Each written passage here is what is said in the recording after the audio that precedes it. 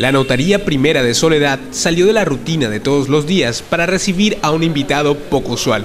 Se trataba de Falcao, mas no el reconocido jugador del Atlético de Madrid que se coronó con el título de la UEFA Europa League, sino Falcao Dylan Mejía Morelos, a quien sus padres bautizaron en honor del goleador Samario.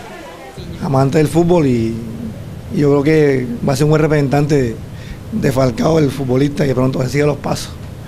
¿Usted hasta ayer no tenía definido el nombre o ya lo tenía?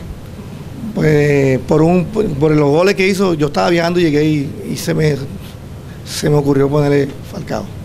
Según su padre, la actuación del colombiano en la pasada victoria del equipo español frente al Atlético de Bilbao fue decisiva para tomar la decisión de cómo nombrarlo.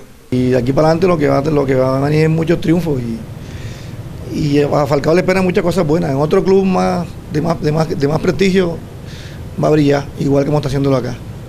Según el notario primero de Soledad, Joao Herrera, es común que las personas registren a sus hijos con nombres de personajes famosos. Los nombres de deportistas, reinas de belleza y actores se encuentran entre los más usuales al momento de tomar la decisión este Leonel, Leonel Messi en honor a Cristiano Ronaldo, a figuras mundiales, el Carlos, hay mucho Carlos en honor al Pío Valderrama.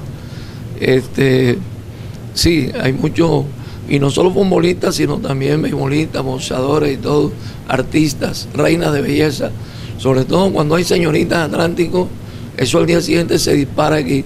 Si la señorita Atlántico es Diana Margarita, en el mes tenemos 40 Diana Margarita. El pequeño Falcao tiene derecho a tres cambios de nombre. Él mismo podría hacerlo si así lo desea cuando haya crecido.